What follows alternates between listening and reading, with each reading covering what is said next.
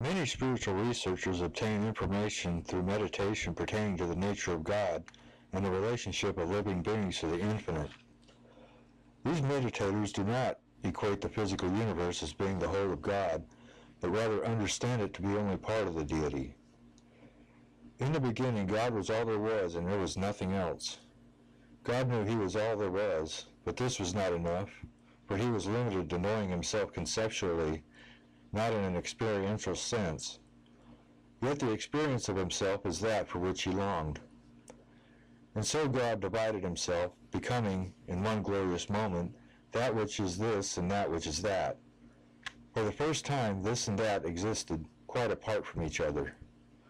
Thus, from the mind of God sprang the ever everything, an event entirely consistent, incidentally, with what scientists call the Big Bang Theory. In rendering the universe as a divided version of himself, God produced all that now exists, both seen and unseen. In other words, not only was the physical universe created, but the spiritual universe as well.